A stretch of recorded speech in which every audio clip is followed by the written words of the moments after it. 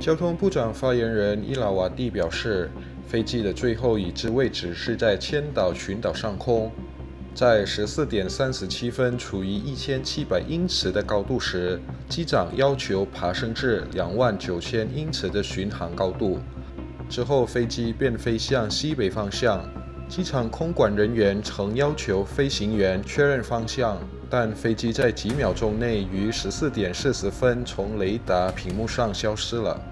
国家搜救局十四点五十五分收到飞机失联的消息之后，五点与交通运输部、海洋和海岸警卫队、印尼海军、水警和部分民众分别搭乘八艘搜救船、四艘印尼海军军舰。和六艘水警船展开联合搜寻。不久后，一些疑似该飞机的碎片被发现在千岛水域周边，由此确认飞机坠毁。直到该新闻播出为止，相关单位仍在进行大规模的搜寻工作。根据1964年第三十三号法律和2017年第十五号财政部长条例。对于在飞机事故中的遇难者，国立社会保险公司将赔偿五千万印尼盾；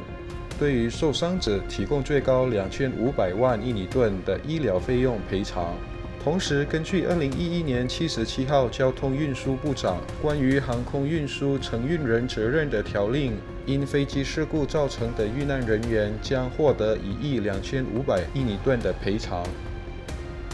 美都新闻整理报道。